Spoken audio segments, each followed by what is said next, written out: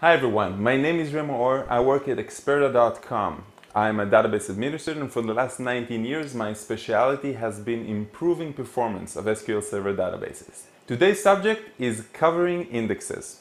Any index that we have in SQL Server has the keys and included columns.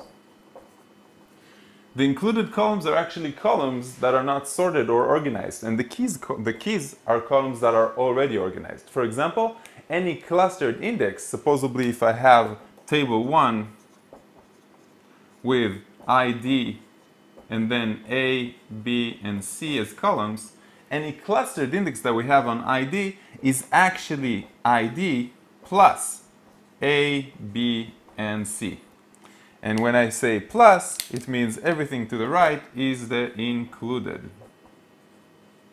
So ID becomes the sorted, anything that we want for the range, for the equality, for the where, or for the group by, or order by, or joins, and all of these are included, or all the columns are included in the index itself.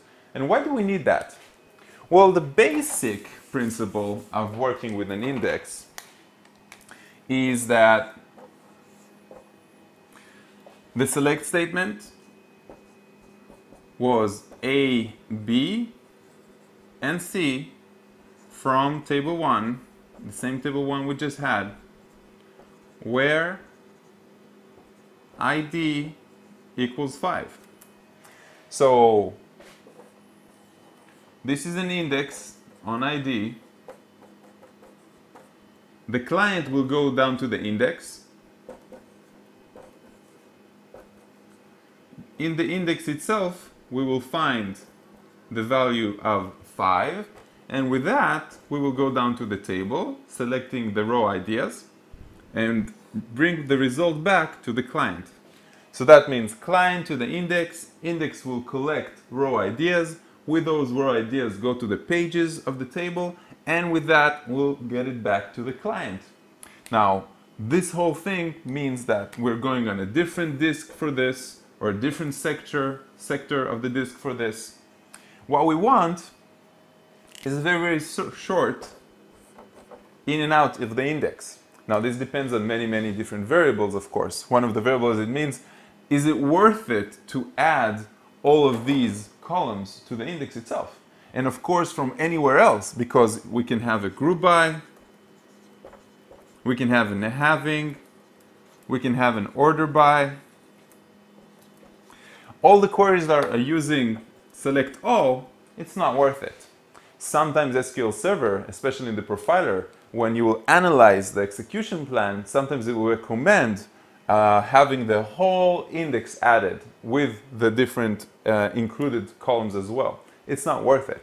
However, if we have a simple query such as this,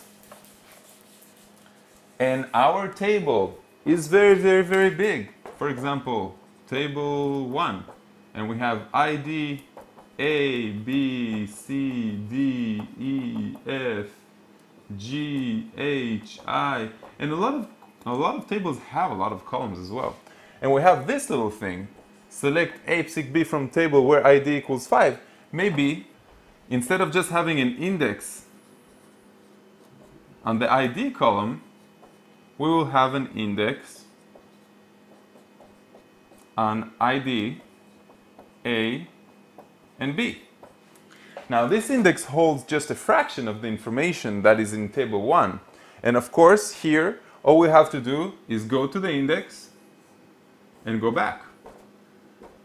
We won't have to go down from the index using the row IDs collected from the index to the table and coming back.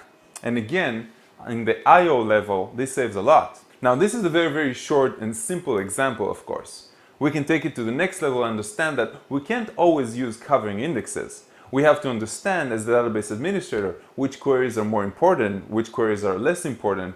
If, for example, at 8 o'clock in the morning, everybody's coming to the office, opening their machines, and then they're loading a lot of information for the system for the first time to be used during their uh, workday, then we know that these queries might be more important because at 8 o'clock in the morning when 500 of our fellow employees are coming into the organization, uh, we need the queries to run much faster or the loading of the system is much faster.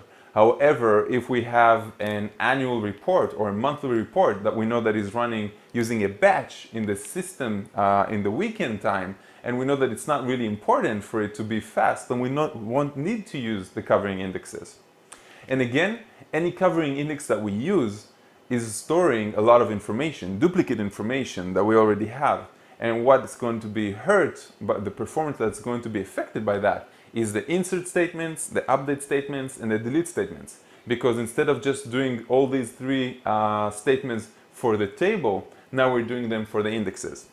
Now the good news is, uh, from the different research that we've done here in Experda.com, is that it doesn't really matter how many of the columns you put, as long as the columns themselves are not nvarchar or very, very wide. And all this I'm going to touch in a different video about how we choose the different columns, uh, the different, the order of the columns, uh, and uh, how wide we want the index to be. So for example, if it's really integers, big dates, all of these four, uh, four byte, eight bytes or less, it doesn't matter how many of the columns we put, it doesn't affect it as much as actually having an nvarchar or a very, very wide and long string uh, column. If the index already exists, just add the different included columns to it, meaning if the index is already on ID and A, and you see that you have this query, and still this will go down to the table. All you have to do is add the B. You can add it as a key and it will be sorted, or you can add it as included and it won't be sorted. And then you'll know that you're using it only for the select statement itself. Let's see an example.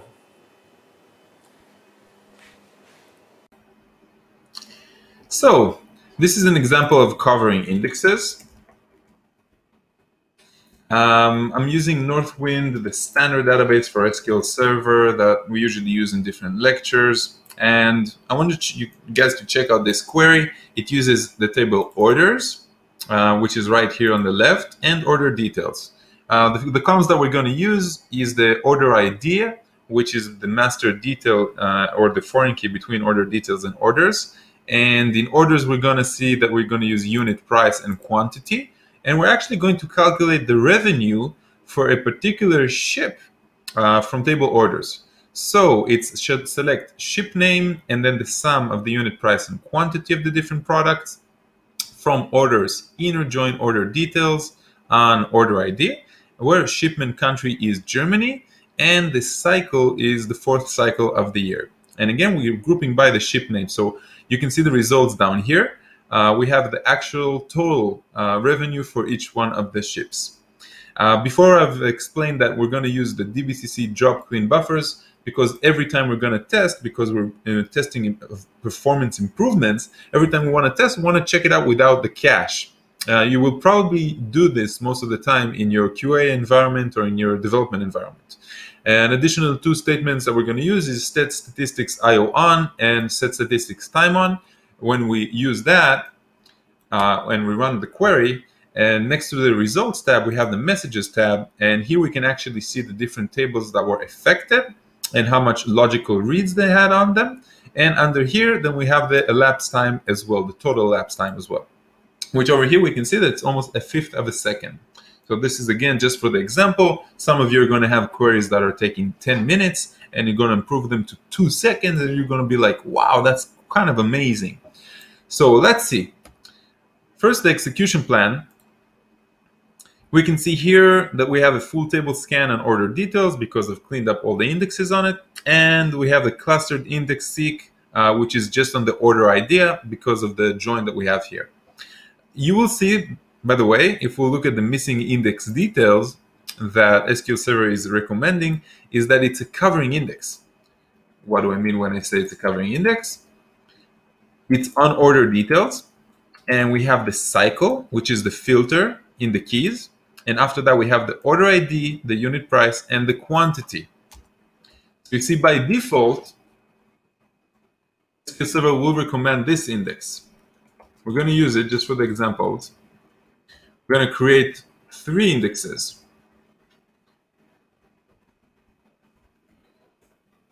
The first is going to be the full index. The second is just with the keys. So I'm going to have only on cycle. We're going to create this index, clean buffer cache, and I just want to see if it's going to use index number two. And you can see right here on the right that even if we don't have the full index, still SQL Server says that this index is good for me, I'm going to use it uh, because it filters out. Now we're going to create the first covering index and clean the buffer cache and see what happens here. First, we can see that it ran much faster, 64 milliseconds. If you remember the amount of logical reads, you will also see that the amount of logical reads has been reduced on table order details. Now it's only 12. And when we look at the execution plan, then we can see that we're only using order details IX1, meaning this index.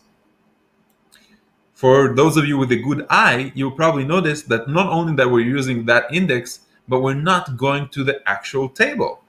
Let's check out again what happens when we drop this index and we issue the command. In the execution plan, we can see that we are going to the first index that only is only on the key. And with that, we're having an order details lookup meaning we're going to the table with the row IDs we collected from the first index, we're moving to the table, and only then we're entering the nested loops with the orders table. What we saw when we created the covering index is that we didn't have to go to the table. Meaning right now, the covering index, we're only going to the index itself. And in this scenario, I would keep the covering index and I would drop the second index that's simply not necessary and we don't want it to just become a redundant index uh, hurting our performance in the inserts, updates, and deletes. Now, we're not done. Let's take a look at table orders. So again, right now, the logical reads in table orders with the new covering index for order details is logical read 6608 and our elapsed time is 62 milliseconds. That's for just for the example, we'll drop this index and we'll clean the buffers and we'll see before all the improvement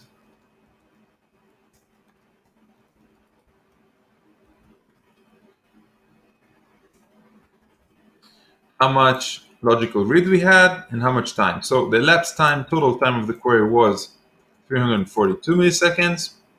Table orders had logical reads of 6,780 and table order details at 9,339. So we'll add the missing index order details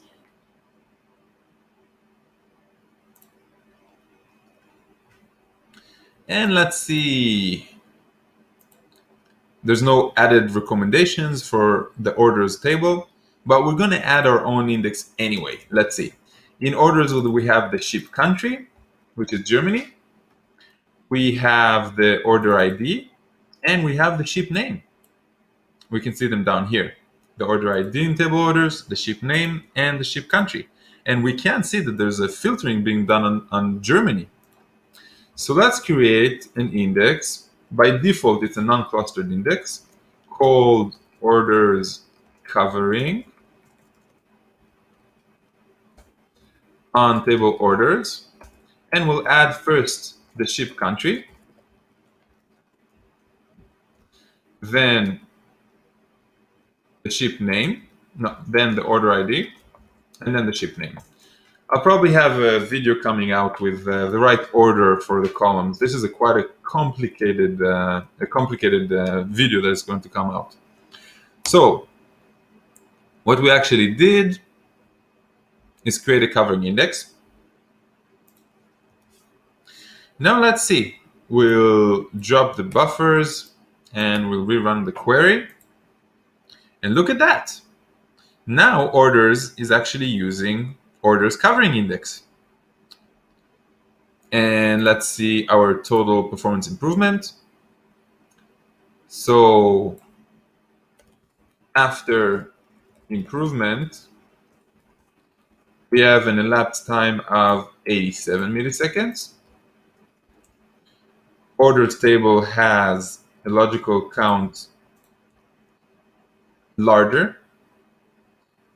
And order details have a logical count of 12 instead of 9,000. Now, the reason for this is because before that, we used the primary key. The primary key in SQL Server, in this case, is a clustered index, meaning that you already have to go into the table anyway. So when we scan the, the primary key, we had to scan the clustered index itself, which in this case is called orders primary key. So you see, we had to go through the primary key. If we didn't have this primary key, the improvement would, would have been much vast. And another thing you need to understand about logical reads is that it's not physical reads, meaning if we have a nested loops and we needed a particular page and we're going to use that page for a thousand different times, every time we're going to have a read in the logical reads. So even if we had one physical read in a nested loops, it will read like a logical read. So don't always believe these numbers. And this is a great example. So this kind of covers covering indexes for you.